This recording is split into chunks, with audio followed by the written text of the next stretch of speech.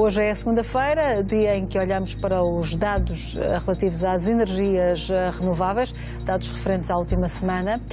A energia eólica, recolhida durante a última semana, daria para alimentar em Portugal continental cerca de 2 milhões 273 mil habitações.